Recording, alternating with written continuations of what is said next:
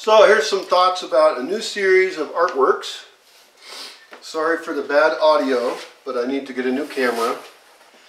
Um, here's, here's what I'm motivated by for, for starting to paint again. First of all, I like painting. It's fun. It's very different than what I do. Now, in some sense, the entire Bosque is an enormous living sculpture, uh, and that's exciting. But, you know, when we talk about oak trees and walnut trees I'm planting, the feedback loop is extremely slow. Even for other plants, it can take years to get things to develop. And of course, creating something like a community is just a colossally difficult concept to actually put into motion. Lots of people talk about it, they think they want that, it's just very difficult. Painting, by comparison, is something that I can, I can do that I have control over that I can do in a shorter span of time. And also I just miss the aesthetic play of it. I miss painting. Now, one of the reasons I stopped, it's fine to paint it's shirt, it doesn't matter. Uh, one of the reasons I stopped is because I couldn't sell paintings down here in Mexico. I can't ship the kind of paintings I was doing. I was doing these, these four by four foot really big paintings and they're, they're on canvas and so I guess I could remove the canvas and roll it up and ship it but that always seemed weird. And then I have to worry about whether the paint's going to crack if I made it too thick or something. I do use acrylics, which should be somewhat flexible. Uh, but it's just difficult. So I've been mulling this all over in my head for a long time now. Um, you want to paint the back of that? Yeah. Okay. Um, and I've come up with a new style, new way of doing things. This is MDF, medium density fiberboard. It's, uh, I think, two millimeter. They also sell a three millimeter. I, if I paint on this, now I've got a, a fixed surface, and I could sandwich the painting between either two other MDFs, or maybe just one, and then wrap it in cloth, and then cardboard it, and tape it all up and ship it. Also, they're fairly lightweight, so I could have them get driven to the United States if that's where they were going to sell. I don't care where they, it doesn't matter to me where they're going to sell at. In fact, I'd like to sell in Mexico, I'd like to sell in the US, I'd like to sell all over the entire world. Brings me to another part of the motivation. Beyond the aesthetics of it, beyond the playing, which I have a lot of thoughts about. I can envision what I want to create. One of my other motivations is that I'm now getting donations from people. I need money. I'm, uh, I'm not making it without money, without, with no income. So the donations are so awesome, but then I'm thinking, people love art and people would love to buy art that I make and, and that would encourage them to donate and they get something out of it as well. So that's another reason to make something that's transportable. Then I started thinking further and I was thinking about things like Bitcoin and alternative currencies and the art world and how, how art transfers from one person to another, how there's a marketplace for it. That's been totally off my radar in my artistic process. But at this point, I'm thinking that could be really cool to make smaller pieces that are very well protected and so that they can transport well. So that shipping doesn't become this big like, oh, I have to ship a piece of artwork and I need to get it packaged again in some fancy way, but that it's ready to go. And so these are a little bigger than I'm actually thinking. I got these cut in a Pátzcuaro and the, the MDF itself is a very cheap supply. Uh, but I actually want to go smaller than this. I want to go with probably no more than about 12 by 17. And, I, and I've, got, I've done some calculating and thinking about the exact ratio I want. I want it to be the super golden ratio, which is 1.47 something in there. And, and one of the reasons I want to do it at that size is to make it easier to transport, uh, I'll even get a, a, leather case made for every single artwork, and I'll get that made in, in Quiroga. And that's so that you could you could slip the art into the case, and you could transport it with you as you traveled to exchange it with someone else. So the art is a medium of exchange. I'm creating a currency, and I like this on many levels. Um, one of the things I'm probably going to do with that uh, is the smaller size. I'll ring it with a, uh, a ring of copper. I'm not sure I'll do this, but I probably will. A, a, ribbon of copper around it, kind of thick. And then use like metal brads to connect that onto the MDF. So that even if it got hit on the side pretty hard, it wouldn't squish the MDF. Also, I like the idea uh, that you could then hang that just as it is. That the copper is its own frame for the artwork.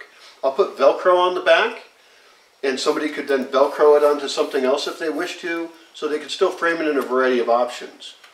Another thing I want to do is uh, scan each one in. And that's another reason to do it that size because that will fit onto a scanner. I could photograph it, but the resolution won't be as high. If I do fairly detailed work, and I want to do these, I'm, I'm going to put a lot of work into these paintings. I mean, I have some bigger paintings that are really huge, um, and I'm going to do more work on the small paintings than I even have done on, on a lot of the big ones. Uh, that level of detail, if it was scanned in at a very high resolution, would allow people to print it really big. And you know what I want to do? Because I'm into the idea of Creative Commons, because I'm, I, I'm into the idea of information being free, and I want to give as much as possible to the world because the world is now created in such a way that we can copy information and share it with everyone so we're all wealthier. I want to give away the digital version of the art. I want to upload it to Creative Commons or give it away however I have to.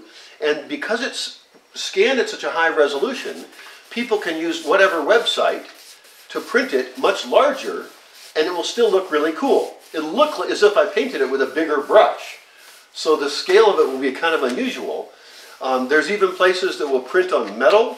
They'll do giclées. They'll do you know variety of ways to print.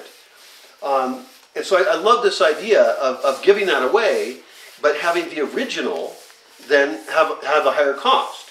So I'll still sell the original, or if someone's donating a lot to me anyway, I'll give them a painting in exchange. Or not officially in exchange perhaps, but you know, I'll give them a painting.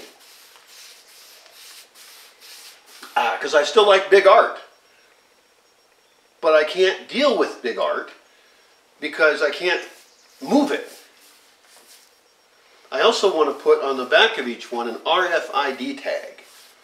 This is uh, something like your passport has one. Uh, they use it for inventorying things and even they use it for artworks when they want to track artworks through a system. So I'll put an RFID tag on it. Everyone's going to then have its own individual serial number. Also, since somebody can check online the de very detailed picture of it and compare it with the, the, the image, there's no more issue with whether or not it's real or not. And so getting back to the kind of currency idea, you can prove that this is an individual piece of artwork since it's coded individually. You could scan it with, there's even phones that will scan RFID tags, but you could just scan in, uh, could put a QR code on there as well. They'll all have individual names, of course, as well. Uh, so, so there's no problem with fraud. It's, it's well known whether the painting is mine or not, whether I created it. I also sort of like the idea of people trading these because I just like the activity of it. I, you know, one of the reasons that I, I would paint, not just for me, not just, for, I mean, originally I just painted for my house because I wanted art and so I made it and I made art I want, that I liked, obviously. So one of the other thoughts is that when somebody right now, when they buy a painting, I never hear about it again. I never see it again. And that sort of feels a little weird to me because in some sense a painting, and this is a stretch I realize, a painting is a little bit like a child. It's, it's, a, it's a creation.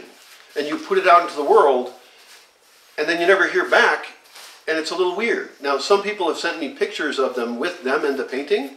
I love that. I like it. I, I, I think it's cool that then I can imagine it in their life, in their living room, you know, part of their life. And so I guess I want to see that. Also, from an economic standpoint, I want there to be movement of my art. I want it to continue to grow in value, and I don't want it to do that just after I die. There's a lot of amazing painters out there. Like, I don't think Vincent van Gogh sold a painting in his life. And he's supposedly a great painter. I want to be a commercial success in my life now to survive. And the people who are watching me online, the people who are aware of my project, my values, my visions, I want them to be able to participate in that physically with my art. Sounds fun to me. Sound fun? Yeah, it sounds fun. How crazy can I get is my question. Which part uh, doesn't make sense? No, I mean, it makes sense. I think it's difficult. But it's not because it doesn't have sense. It's just because it's difficult. It's difficult. Yeah, it is. Yes, it is difficult. But And the hard part, officially the hard part is actually painting it. Yeah. But I, I, I- I think I can do that. I feel very confident I can make paintings I like. I have lots of experience. The question is, how do I connect my paintings in with the big art world thing? Yeah, I have no idea with that. And I'm I've not an artist. I don't know either, and I'm not a business guy, and I, I've sold paintings at fairly low prices in the past, mm-hmm. and I guess I was happy with that. But I want to be part of the whole big picture in the art world. I guess I, I don't just want to be a guy painting by himself in the forest. What? Nothing. I can picture you like that. You can picture me like that? yeah, me too. And I guess it'd be okay. I have also thought about, uh, uh, we were talking about this earlier, setting up my camera on my computer Yeah. and having a wireless headset so that people can keep me company while I'm painting. Because one of my problems is I get really bored. While painting. Yeah. It's like part of the process. I, I, I have to get in the groove and think, and I'm thinking aesthetically in a bunch of ways. But after certain decisions are made, you're just slogging through, filling in the shit. Yeah. And so sometimes there's hours of work where it's not honestly in that moment very creative. Mhm. The creative part's already passed. You- Yeah, you already passed that. Yeah. So anyway, so we're going to keep sealing these MDFs. We're just painting it with gray completely. The goal there is to seal it and protect it.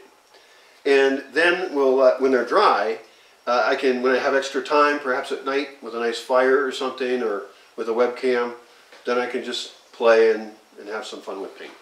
So thanks for helping out here. Yeah, welcome. Now I'm helping to an artist. Yar. And I do need help in many ways.